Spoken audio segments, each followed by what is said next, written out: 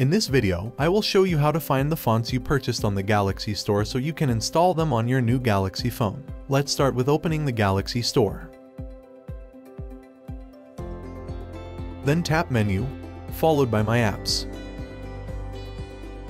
Go to Themes. Then tap on this drop-down menu and select Fonts. Here, you can see all the fonts that you have purchased. You can then go ahead to install any fonts you want to have on your new phone.